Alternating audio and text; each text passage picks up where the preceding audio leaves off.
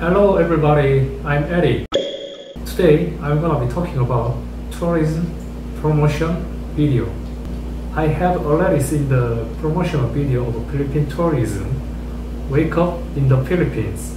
I have been waking up in the Philippines every morning for seven months, but I haven't been to any tourist attractions. Yeah, I really want to travel, but as shown in the video, we have to stay at home until we can travel again.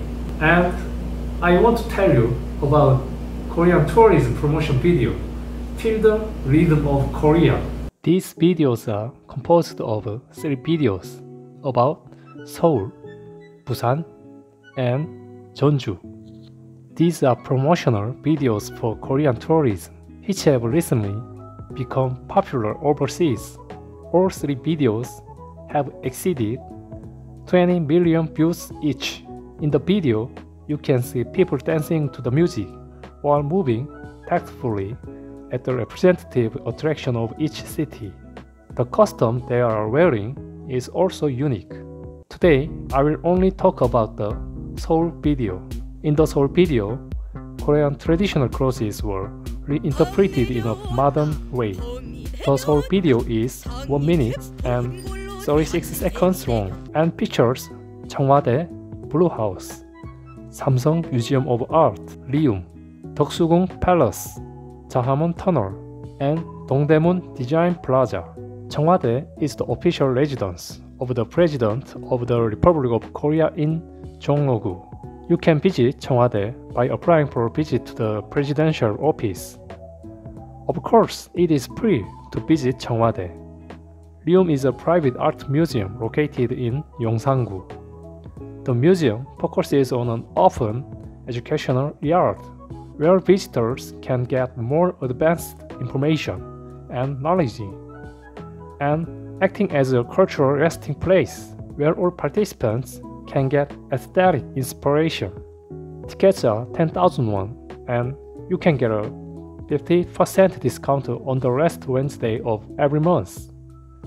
Deoksugung Palace, located in Junggu, was used as the residence of King Gojong of the Joseon dynasty. The admission fee is 1000 won and is free on the last Wednesday of every month. Gyeongbokgung Palace is located nearby, so you can also see Gyeongbokgung Palace. The palace was built during the Joseon dynasty and was used as a royal palace. The admission fee is 3000 won, but if you wear hanbok, you can watch it for free but it costs 25,000 to 35,000 won to rent hanbok. I heard that many foreign tourists use it to experience hanbok. The Jahamun Tunnel is the filming location of the movie Parasite, but that stairs and tunnel are everything. If you love the movie and want to go through those stairs and dusty tunnel at least once, I recommend it. Dongdaemun Design Plaza is a complex cultural space where many exhibitions are held and a good place to take pictures. I think there are many better and more beautiful places than the ones introduced here. I hope everything goes back to normal soon and I can invite you to Korea. The next video will talk about the promotional video of Busan, my hometown. I hope you guys found this video interesting. You are with Eric today. If this video was helpful or if you want to it with me, please subscribe and like. And I will see you in the next video. Bye!